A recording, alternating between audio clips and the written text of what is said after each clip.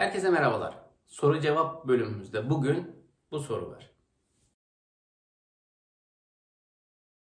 Evet arkadaşımız kadroya geçen yeni meslektaşlarımızdan.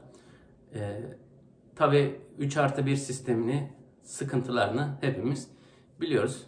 Çok şükür ne mutlu ona ki kadroya geçmiş. Fakat kadroya geçilse bile arkadaşlar eğer 3 artı 1 sistemindeki gibi 4 yılınızı tamamlamıyorsanız eğitim durumu tayinini kullanamıyorsunuz. Mazeret tayinlerinden sadece eş durumu, can güvenliği ve sağlık durumu mazeretlerini kullanabiliyorsunuz.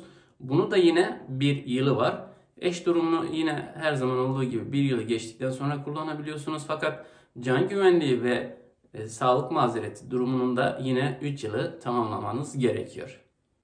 Bir sonraki soru cevap videosunda görüşmek dileğiyle. Hoşçakalın, sağlıkla yaşayın.